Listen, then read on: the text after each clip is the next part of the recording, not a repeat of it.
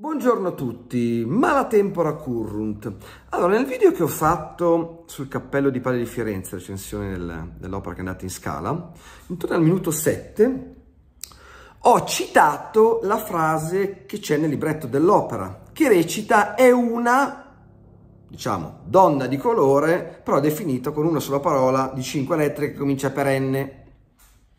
Ho citato quello che c'è nel libretto, ok? Mi arriva la segnalazione di YouTube dove dice linguaggio potenzialmente inappropriato e incitamento all'odio.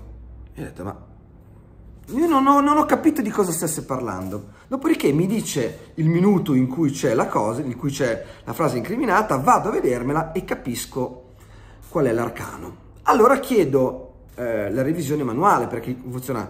Tutti i video che vengono fatti su YouTube passano come dire al vaglio dell'algoritmo che sente le parole e ha, come dire, un alert su certe parole e segnala, proprio poteva starci benissimo che l'algoritmo ha percepito sta parola e non, e non, ha capito di che cavolo stavo parlando. Va bene, ci può stare, per cui io chiedo la revisione. Aspetto qualche giorno e mi arriva la risposta di YouTube che dicono che ha fatto la revisione manuale. Revisione manuale vuol dire teoricamente, non ci voglio credere, che una persona, e non un algoritmo, una persona in carne ed ossa ha visto il video, prendersi conto del contesto in cui stavo dicendo quella parola ok?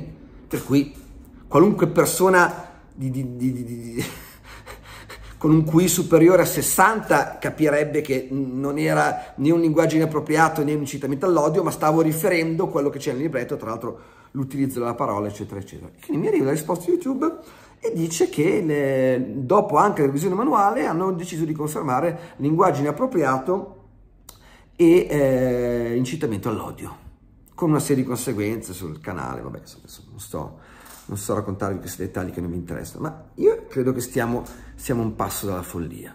Cioè siamo in una situazione in cui si può dire di tutto in, in, in, in televisione su YouTube, le, le, le, parolacce e le bestemmie sono sdoganate, sdoganate, però se uso quella parola, che non posso neanche più dire, altrimenti mi bloccano anche questo di video, niente, faccio incitamento all'odio e linguaggio propriamente, eh, potenzialmente inappropriato. Io sono no, perplesso, basito, dite come vuoi. E sto anche pensando che ho tantissimi amici il cui cognome, di cognome fanno N-E-G-R-I, che è un cognome tra l'altro molto diffuso in Italia. Io ho almeno due o tre amici che, che hanno questo cognome, quindi adesso loro non potranno mai dire il proprio cognome in un video su YouTube. Non so ragazzi, sono, sono perplesso.